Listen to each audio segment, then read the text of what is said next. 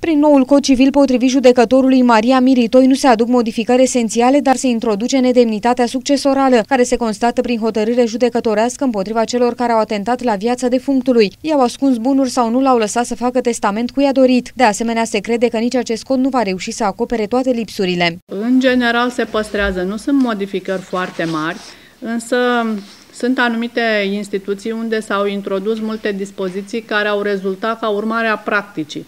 Noi, în practica judecătorească, foloseam uh, o serie din aceste noi elemente introduse, pentru că vechiul cod uh, nu a reușit să acopere tot. Probabil că nici nou cod nu va reuși să acopere tot, pentru că așa este viața, niciodată nu poți să prevezi tot.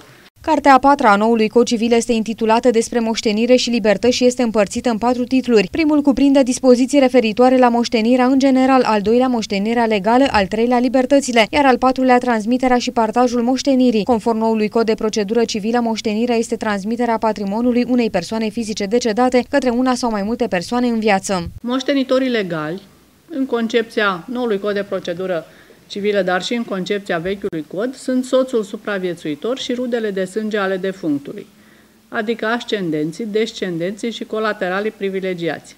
În noul cod de procedură civilă, soțul supraviețuitor apare ca fiind moștenitor legal, fiind chemat la moștenire în concurs cu oricare din cele patru clase de moștenitori, în acest fel fiind preluate dispozițiile legii 319 pe 1944, care a reglementat pentru prima dată în dreptul românesc moștenirea soțului supraviețuitor.